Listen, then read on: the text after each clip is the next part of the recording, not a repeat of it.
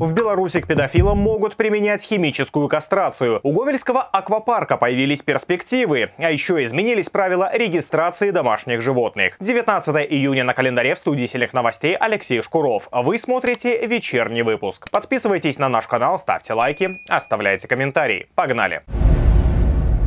Неутешительная статистика. Рождаемость в Гомельской области упала до антирекордных значений. Многие думают, что рожать стали меньше из-за плохих времен, но действительно ли так все страшно? Вот пару жизненных историй от гомельчана, которым растить детей было действительно трудно. По официальной информации, в 2022 в Гомельской области родились 10 462 ребенка. Выходит, в среднем это почти 30 карапузов ежедневно. Может сложиться впечатление, что такая статистика выглядит довольно довольно неплохо, но как бы не так. Этот показатель ниже уровня 2019 почти на четверть, а если сравнивать с 2015, то падение более 40%. Такие демографические ямы были только после аварии на Чернобыльской АЭС, когда уровень рождаемости просел почти на треть, и в годы после Второй мировой. В чем же причина, что в 2022 так упал уровень рождаемости? Бытуют разные мнения, которыми многие читатели делились в комментариях. Состояние экономики, желание молодых людей вначале состояться в жизни, а уже потом думать о детях, неуверенность в завтрашнем дне, да и многое другое. В чем-то эти версии имеют право на жизнь, но разве раньше было как-то иначе? Многие наши читательницы прекрасно помнят, как растили своих детей без, казалось бы, самого необходимого. Стиральных машинок, подгузников, до того же детского питания и других бытовых благ. Отметим, что истории той поры очень похожи друг на друга. Как же в то непростое время справлялись молодые мамочки? Почему, по их мнению, именно сейчас так падает рождаемость? Ну и как обстоят дела в других европейских странах? Сильные новости попытались в этом разобраться. Читайте материал, который подготовил наш журналист. Ссылку на него мы оставим в первом комментарии под этим видео.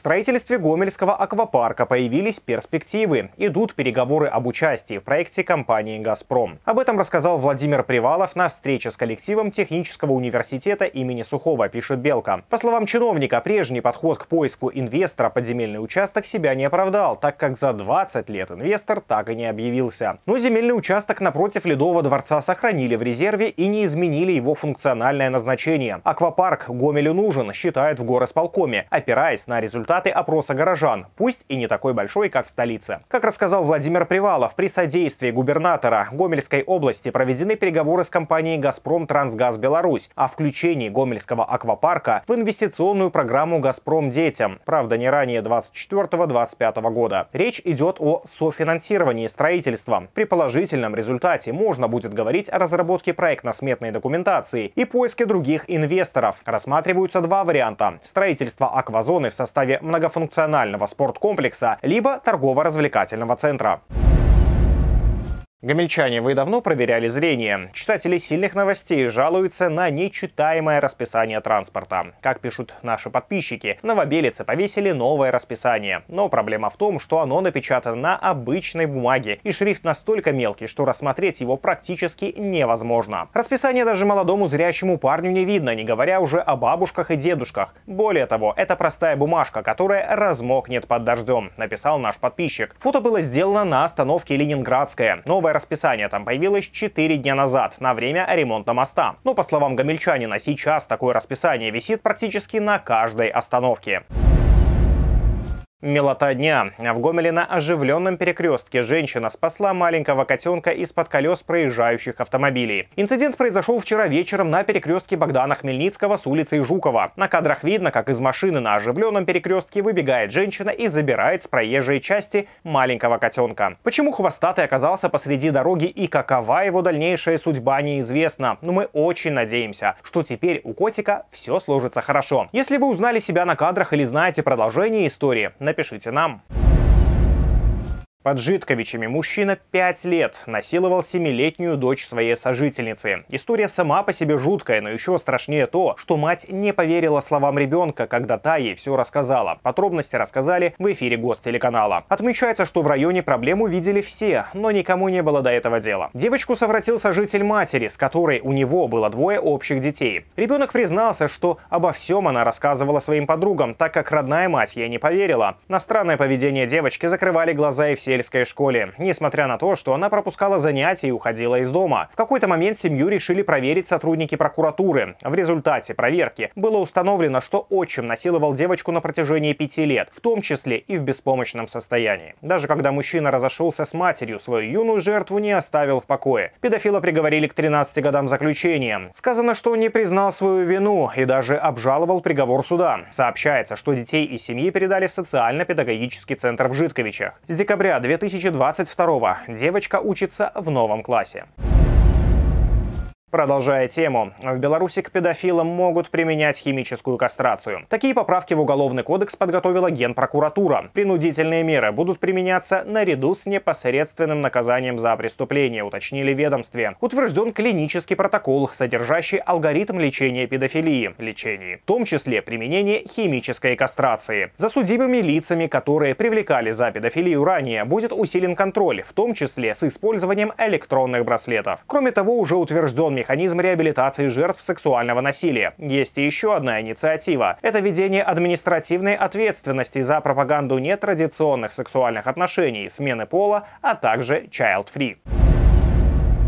В Беларуси вывели новый сорт картошки, которая похожа на драгоценный минерал. Селекционеры вывели сорта «Сапфир» и «Лекарь». Мякоть этих корнеплодов фиолетового и розового цветов, пишет Минсельхозпрод. Сообщается, что новые сорта устойчивы к засухе, болезням и вредителям, а также обладают повышенной полезностью. Стоит добавить, что на создание нового сорта картофеля уходит 12-13 лет. К концу этого года государственный реестр пополнит «Сапфир» и «Лекарь», а это значит, что совсем скоро фиолетовое и розовое картофельное пюре появится на столе у белорусов. Сколько будет стоить новинка, не сообщается яйца.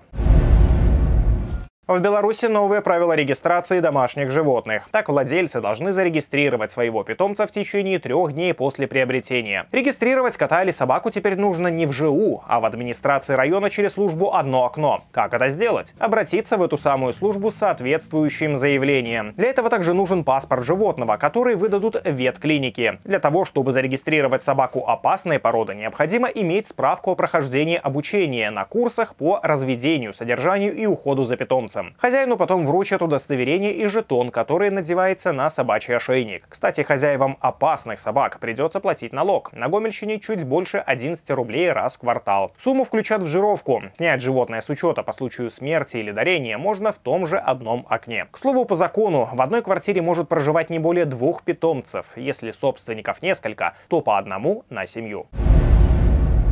Парень из Калинковичей Денис Колосов выиграл чемпионат мира по бильярду «Свободная пирамида». Это первая победа белорусов на таких соревнованиях. Турнир проходил с 13 по 17 июня. Об этом сообщается на сайте Лиги любителей бильярда. За титул чемпиона боролись 109 спортсменов из 20 стран мира. Участие в чемпионате мира принимал житель Калинковичей Денис Колосов. Он достойно сыграл в отборочном турнире, вышел в финал. Там его соперником стал мастер спорта международного класса из Киргизии Азиз Мадамин Аминов. В последних партиях финала Денис Колосов одержал победу. Поздравляем нашего соотечественника и желаем ему новых побед. На этом у меня все. Подписывайтесь на сильные новости в социальных сетях, ставьте лайки. Присылайте нам свои истории, мы о них расскажем. Над выпуском работал Алексей Шкуров. До встречи на сильных новостях уже завтра.